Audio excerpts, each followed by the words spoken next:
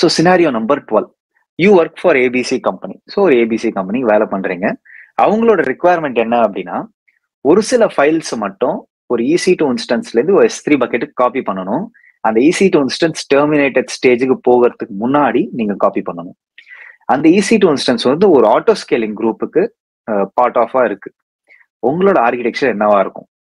அதுக்கப்புறம் நம்ம ரெண்டாவது கொஸ்டின் போவோம். ஓகேங்களா ஸோ இதுல வந்து நீங்க பாத்தீங்கன்னா ஒரு சின்ன நல்ல யூஸ் கேஸ் இது ஆக்சுவலா ரொம்ப ஈஸியாவே நம்ம சால்வ் பண்ணிட்டு போயிடலாம். இது வந்து டஃப்பான யூஸ் கேஸ்லாம் இல்லை. ஓகேங்களா ஸோ இப்போ வந்து ஒரு ஈஸி டு இன்ஸ்டன்ஸ் வந்து ஆட்டோ ஸ்கேலிங் குரூப்ல இருக்கச்சு அதோட லைஃப் சைக்கிள் ஸ்டேட்ஸை வந்து நம்ம நினைச்சுக்கணும் அந்த லைஃப் சைக்கிள் ஸ்டேட்ஸ் நீங்க பாத்தீங்க அப்படின்னா பெண்டிங்ல இருந்து இன் சர்வீஸுக்கு போகும் ஓகேங்களா அந்த இன் சர்வீஸுக்கு போகிறச்சு தான் அப்போ அந்த ஆட்டோ ஸ்கேலிங் குரூப்ல இருந்து அந்த லோட் பேலன்ஸரோ எது நீங்க வச்சிருக்கீங்களோ அதுக்கு ரெஜிஸ்டர் ஆக ஆரம்பிக்கும். ஸோ இப்போ வந்து நம்ம இந்த இன்ஸ்டன்ஸ் டெர்மினேட்டட் ஸ்டேஜுக்கு போகிற நேரத்துக்கு முன்னாடி நம்ம ஒரு சில ஃபைல்ஸை வந்து அந்த ஈசி டு இன்ஸ்டன்ஸ்னு எஸ்ரி பக்கெட் காப்பி பண்ணோம். இதுக்கு முன்னாடி ஒரு சினாரியோல நம்ம பார்த்திருப்போம். ஆத்தரைசேஷன் அண்ட் அத்தன்டிகேஷன்ல ஐஏஎம் ரோல்ஸ் யூஸ் பண்றது தான் பெஸ்ட் ப்ராக்டிஸ் அப்படின்றது. ஸோ அப்போ அந்த இசி டு இன்ஸ்டன்ஸுக்கு அந்த ரெஸ்பெக்ட் எஸ் த்ரீ பக்கெட்ல அப்லோட் பண்றதுக்கு மட்டும் ஒரு ஐஏஎம் ரோல் வித் பெர்மிஷன்ஸை கொடுத்துடணும்.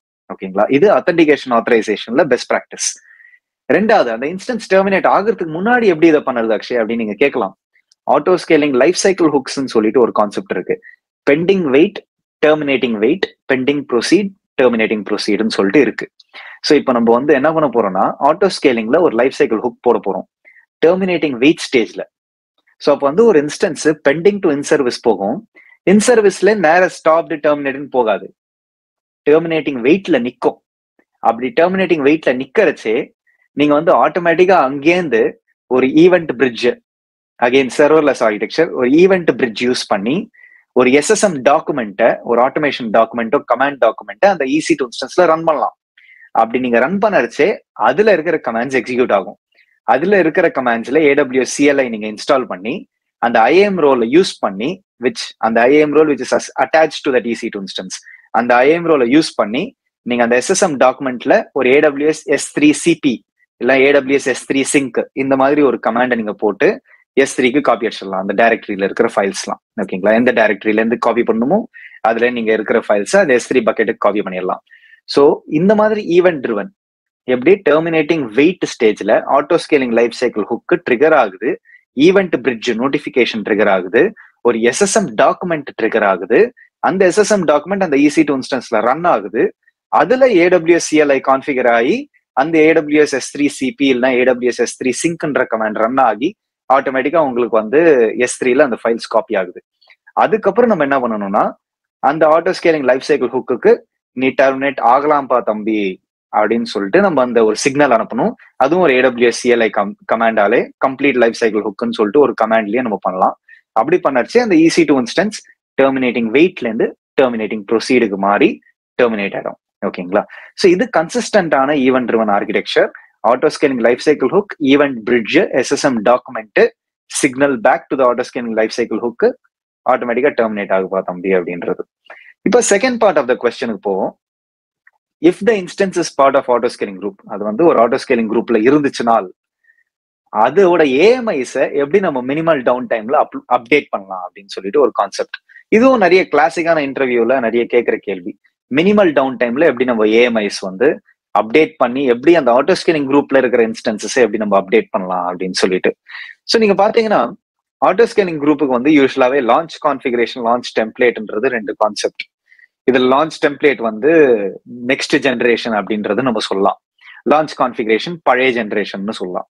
இப்போ இந்த லான்ச் டெம்ப்ளேட் நெக்ஸ்ட் ஜென்ரேஷனா இருக்கிறதுனால அந்த லான்ச் டெம்ப்ளேட்டை நம்ம அப்டேட் பண்றோம்னு வச்சுக்கோங்க. எப்படி ஆட்டோ ஸ்கேலிங் குரூப்பை நம்ம ரிஃப்ரெஷ் பண்ணுறது? இன்ஸ்டன்ஸ் ரிஃப்ரெஷ்னு சொல்லிட்டு ஒரு கான்செப்ட் இருக்கு. அந்த இன்ஸ்டன்ஸ் ரிஃப்ரெஷ்ல எவ்வளோ பர்சன்டேஜ் ஆஃப் இன்ஸ்டன்சஸ் வந்து நீங்க வந்து ரன்னிங்ல வைக்கணும் எவ்வளோ நீங்க அப்டேட் பண்ணதுக்கு ரெடியா இருக்கீங்க அப்படின்றத நீங்க சொல்லலாம். இப்போ நான் அஞ்சு இன்ஸ்டன்ஸ் வச்சிருக்கேன் அப்படின்னா ஒன் அட் அ டைம்ன்ற மாதிரி நம்ம சொல்லிக்கலாம். Like keep seventy percent of instance available thirty percent நீ அப்டேட் பண்ணு அப்படின்ற மாதிரி டியூரிங் நான் பிசினஸ் அவர்ஸ் இல்லைன்னா கம்மியா இருக்கிற work load like peak hours இல்லாம நான் பீக் ஹவர்ஸ்ல இருக்கிற நேரத்துல இந்த மாதிரி எல்லாம் நம்ம பண்ணலாம். சோ அப்படி இருக்கச்சே என்ன நடக்கும்னா இன்ஸ்டன்ஸ் ரிஃப்ரெஷ் வந்து ஒரு ஒரு இன்ஸ்டன்ஸா அந்த ஆர்டர் ஸ்கேலிங் குரூப்லயோ இல்லைன்னா ரெண்டு ரெண்டு இன்ஸ்டன்ஸா அந்த ஆர்டர் ஸ்கேலிங் குரூப்ல டெர்மினேட் பண்ணிட்டே வரும். புதுசா லான்ச் பண்ணிட்டே வரும். அப்படி புதுசா லான்ச் பண்ணிட்டே வச்சு அது புது ஏஎம்ஐயோட அப்டேட் ஆயிட்டே வரும். இப்போ ஒரு உதாரணத்துக்கு உங்களோட ஆர்கனைசேஷன்ல இந்த மாதிரி ஸ்ட்ராட்டஜி யோசிங்க. வேற லெவல் திங்கிங் இது. இந்த வேற லெவல் திங்கிங் வந்து நீங்க இது வரைக்கும் யோசிச்சிருக்க மாட்டீங்க. இப்ப நீங்க யோசிப்பீங்க. இதுக்கு முன்னாடி ஒரு சினாரியோல வந்து கன்சிஸ்டண்டா எப்படி ஏஎம்ஐ கிரியேட் பண்ணுறதுன்றத நான் சொல்லியிருப்பேன். அது சிஐசிடி மூலம் வழியா ஏடபிள்யூஎஸ் இமேஜ் பில்டர் சர்வீஸா இருக்கட்டும் பேக்கர் ஹேஷிகார்போட ஒன் ஆஃப் த ப்ராடக்ட்ஸா இருக்கட்டும். அதை வச்சு நீங்க ஏஎம்ஐஸ புது புது ஏஎம்ஐஸா நீங்க அப்டேட் பண்ணி அப்டேட் பண்ணி நீங்க ரெஜிஸ்டர் பண்ணிட்டே வரலாம். இன்ஸ்டன்ஸ் ரிஃப்ரெஷ் யூஸ் பண்ணி அந்த புது ஏஎம்ஐஸை நீங்க லான்ச் டெம்ப்ளேட்ல அப்டேட் பண்ணிட்டு ஆட்டோ ஸ்கேலிங் குரூப்ல இன்ஸ்டன்ஸ் ரிஃப்ரெஷ் யூஸ் பண்ணி ஒரு ஒரு இன்ஸ்டன்ஸா இல்ல ரெண்டு ரெண்டு இன்ஸ்டன்ஸா நீங்க மாத்திட்டே வரலாம். இந்த மாதிரி பண்றச்சே தான் நம்ம வந்து ஒரு என்டர்பிரைஸ் லெவல்ல ஒரு ஆர்கனைசேஷன் நம்ம இப்படிலாம் தான் பண்ணலாம். ஓகேங்களா?